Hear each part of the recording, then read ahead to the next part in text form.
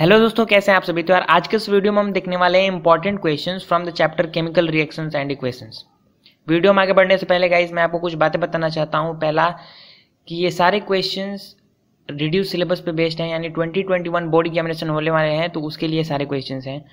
ये सारे क्वेश्चन को मैंने प्रीवियस ईयर पेपर्स को एनालाइज करने के बाद लिखा है। तो ये ऐसा मैं बिल्कुल नहीं कह रहा कि ये सारे क्वेश्चन जो हम आगे देखने वाले हैं, वहीं एग्जैक्ट आपके एग्जामिनेशन में आने वाले हैं। लेकिन ये मैं ज़रूर कहूँगा कि इसी टाइप के क्वेश्चन आपको बोर्ड एग्जामिनेशन में ज़रूर देखने को मिलेंगे।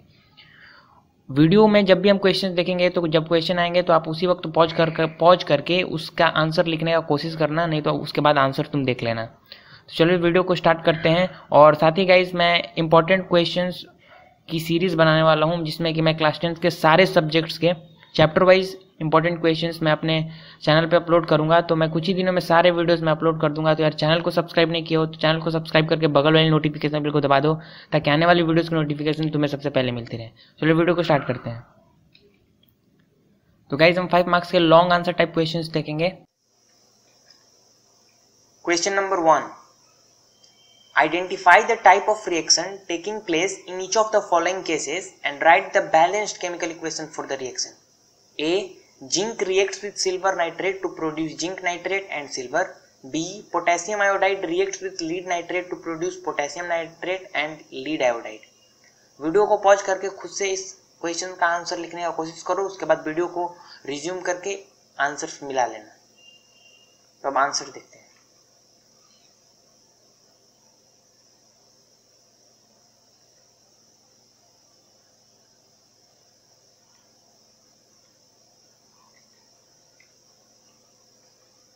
Question to classify the following reaction into different types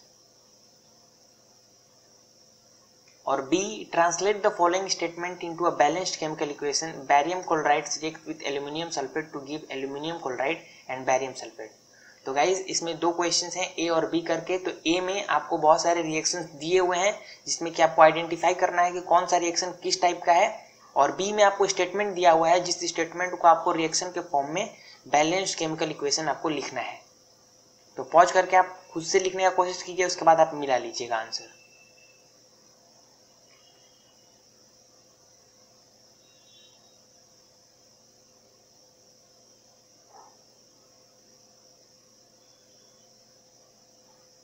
और गाइस वीडियो को लास्ट तक देखना लास्ट में मल्टीपल चॉइस क्वेश्चंस भी हैं। तो आप उन सारे क्वेश्चंस के जवाब देना। Question number three when potassium iodide solution is added to a solution of lead nitrate in a test tube a precipitate is formed A what is the colour of this precipitate name the compound precipitated B write the balanced chemical equation for this reaction और C list two type of reaction in which reaction can be placed तो यहाँ पे है कि potassium iodide का solution add किया गया है लीड नाइट्रेट के सोल्यूशन में। एक तो एक परसिपिटेट फॉर्म हुआ है।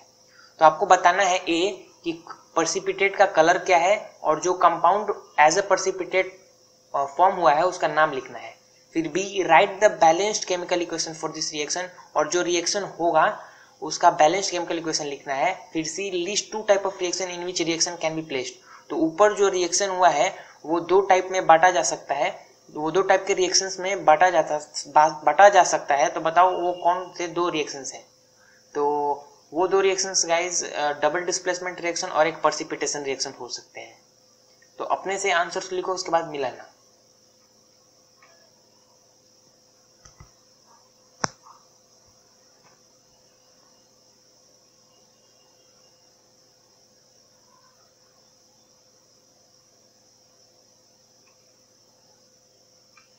question number four A. What is a double displacement reaction? Explain with an example. B. A small amount of quicklime is added to water in a beaker.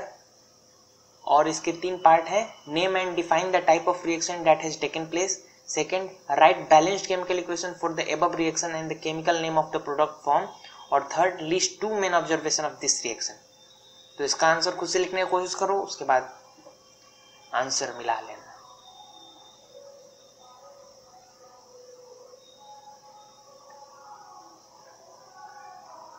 Guys देख सकते हो answer आपको to the point answers देने हैं।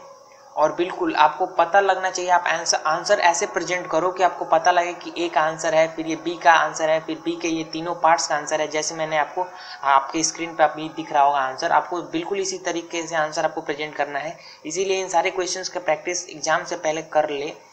और इसीलिए मैं सारे सब्जेक्ट्स के ऐसे इंपॉर्टेंट क्वेश्चन आप अपलोड करता रहूँगा। तो यार चैनल को सब्सक्राइब करके बगल में नोटिफिकेशन बिल्कुल दबाना ताकि कोई भी क्वेश्चन मिस ना हो, कोई भी चैप्टर मिस ना हो, तुम सारी चीज़ को तैयारी, सारी चीज़ का तैयारी अच्छे से कर पाओ और इन सारे क्वेश्चंस को एग्ज़ाम से पहले कर पाओ, ताकि तुम्हें आइडिया लग पाए कि कैसे क्वेश्चंस आते हैं बोर्ड एग्जामिनेशन में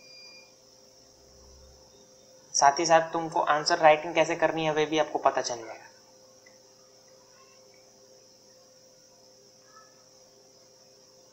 Fifth that 2 gram of silver chloride is taken in china dish and the china dish is placed in sunlight for some time. What will be your observation in this case? Write the chemical reaction involved in the form of a balanced chemical equation. Identify the type of chemical reaction. तो इसका answer है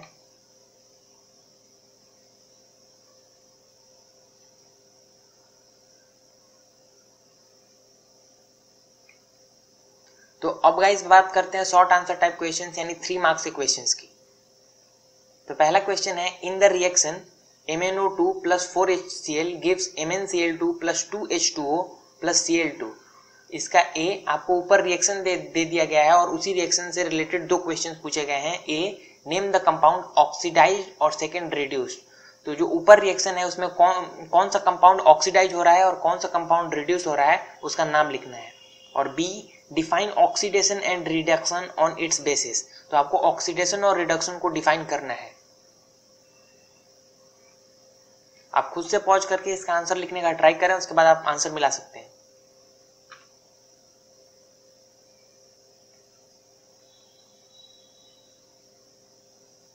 बिल्कुल इसी तरीके से guys आपको भी point to the point answers लिखने हैं।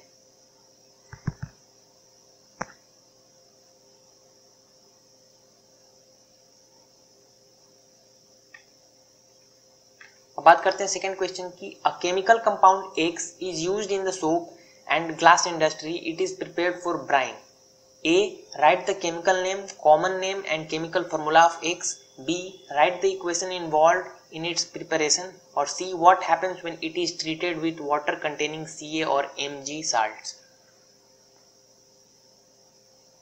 इसका आंसर आप खुद से लिखने का ट्राई करें, उसके बाद आप आंसर मिला सकते हैं।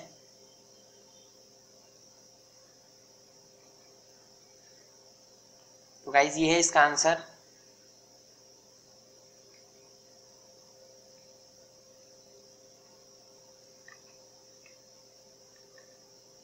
question number three write two observation when lead nitrate is heated in a test tube B name the type of reaction और C write a balanced chemical equation to represent the above reaction आपको question में जितना पूछा गया, उतना ही answer दें।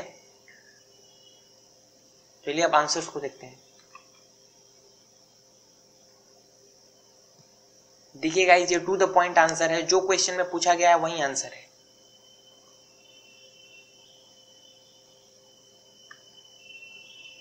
तो अब बात करते हैं guys multiple choice question one marks की। तो फ़र्स्ट क्वेश्चन है electrolysis of water is a decomposition reaction the mole ratio of hydrogen and oxygen gases liberated during the electrolysis of water is A one is to one B two is to one C four is to one D one is to two तो इसका answer guys आपको comment करके बताना है। अब देखते हैं second question guys second है when hydrogen sulphide gas is pass through a blue solution of copper sulphate a black precipitate of copper sulphide is obtained and the sulphuric acid so form remain in the solution the reaction is an example of A combination reaction B displacement reaction C decomposition reaction D double displacement reaction तो इसका भी guys आपको answer comment करना है।